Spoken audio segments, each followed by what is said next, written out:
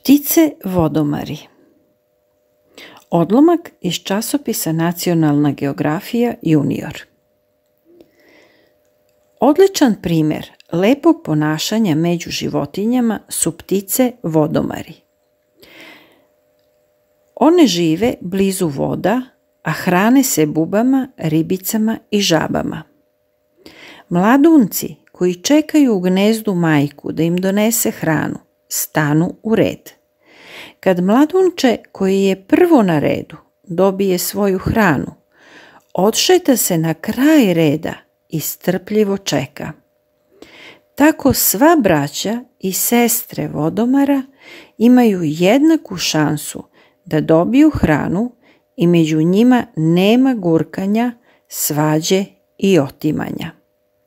Svako strpljivo čeka da dođe narrate